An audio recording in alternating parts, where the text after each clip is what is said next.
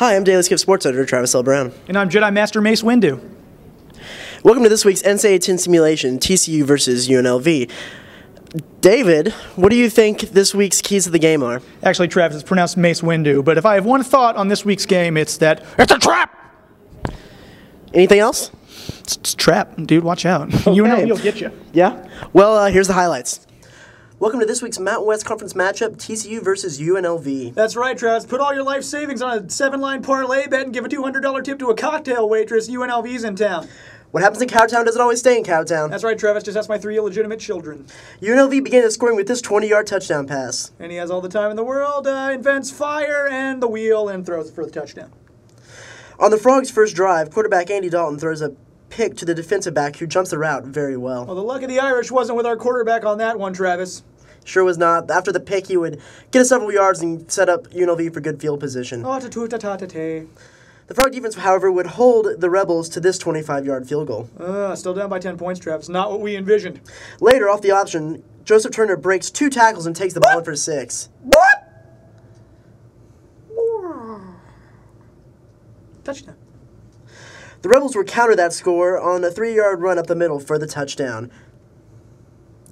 Poor show of tackling right there. That's right. You got to get that guy. That's terrible. Turner would take the ball in for his second run to the house on this one yard pitch play. And then there we go. And he runs in circles and like a million yards just to gain one. But it's a touchdown. Great cutback to find the hole. Mhm, great.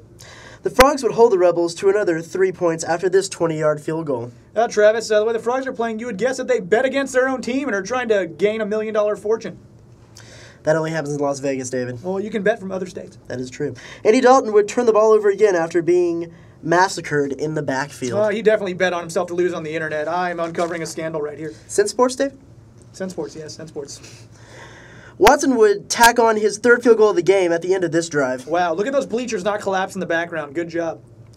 TCU would bring it within three on this 19 yard touchdown pass to Antoine Hicks. Ah, boom. What a score right up the middle. After TCU recovered the onside kick, Dalton would turn the ball over for the third time, sealing the UNLV win. Well, that sucked. I'm going to go to the concession stand and get myself a nice Drano smoothie to drown my sorrows. Will that be the final score? UNLV wins 23 to 21. If this actually happens, I will jump off of the press box. Not even kidding, Travis. That would be quite detrimental to you and the TCU community. You know, what it'd be one hell of a ride down. That would be true. Well, it really was a disappointing loss for the Horned Frogs, but I don't think it'll go down like that. This being homecoming weekend and with all the BCS implications, I don't think the Horned Frogs will let this one get out of their reach. What do you think, David or Mace? Anything else?